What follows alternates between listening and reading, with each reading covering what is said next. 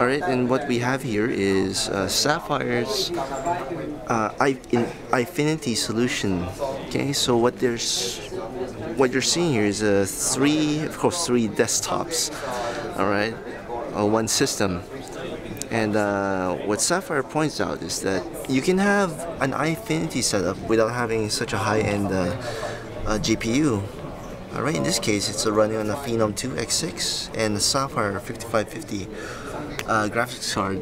As you can see there, it's not too high-end, but it's also it's already running on Eyefinity. Okay.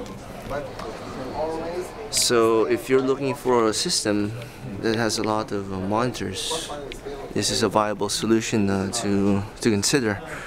And of course, it's not just about that. Uh, Eyefinity is just not about that. It's also about 3D gaming. In this case, what they're showing here is a Sapphire 3D Eyefinity 3 system, what they're proposing. Alright, the casing is a Cooler Master, if you're wondering. Here we go. That's what it looks like.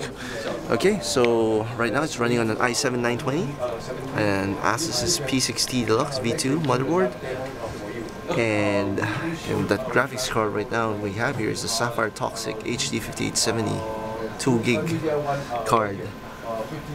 Okay, it's running on a triple channel Kingston Kingston memory and Sapphire's on PSU.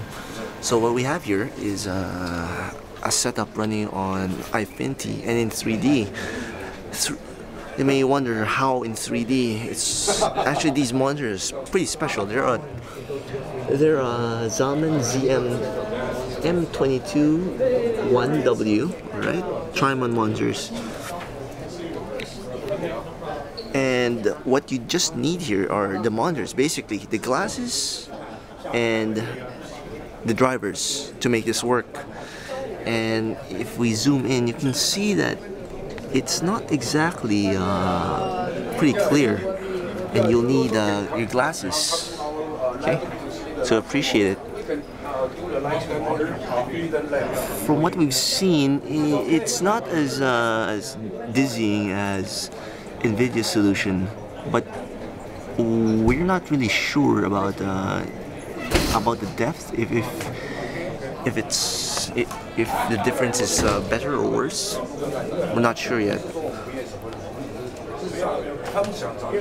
Right. And there you have it.